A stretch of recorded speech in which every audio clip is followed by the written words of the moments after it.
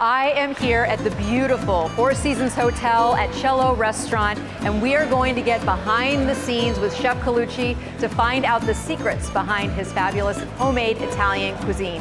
Let's get in the kitchen right now.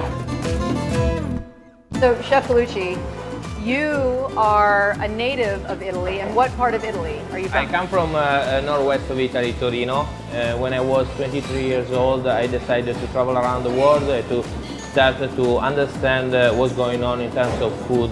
Finally, I came here in Midwest. So. And just recently, you've revamped the menu so that it really reflects your personal experience of food when you were growing up. Yeah, usually uh, everywhere I go, uh, I bring some plate. Uh, is talking about my history, you know, where, where I come from, uh, why I decided to do this job. The food here is handmade, the best ingredients are used. The ingredients is the main important point. I have the garden outside, I love to grow fresh herbs. Then, of course, uh, as a chef, uh, we make the right combination. Uh, we work uh, to give different shape, different, different presentation. That is the, uh, our goal. And now you're going to show me how you make your gnocchi. Yeah, we're gonna make the gnocchi.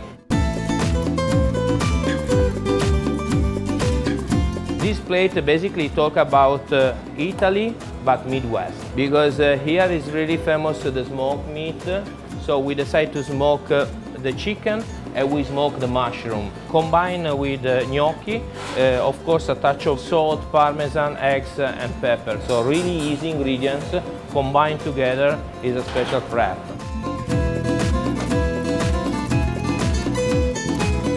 What I love about this dish is that it's rustic, but it's also luxurious. And to me, it kind of embodies the experience that you want to give here at the restaurant because it's approachable, but at the same time, it just feels like you're treating yourself to something.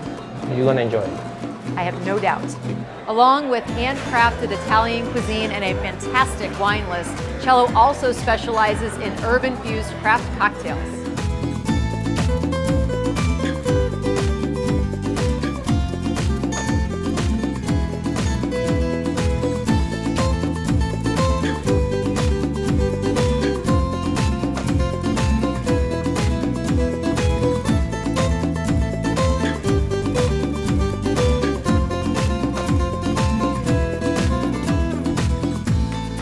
Cielo is an ideal place for visitors to get a taste of St. Louis, but really, it is a local favorite that is just waiting to be rediscovered.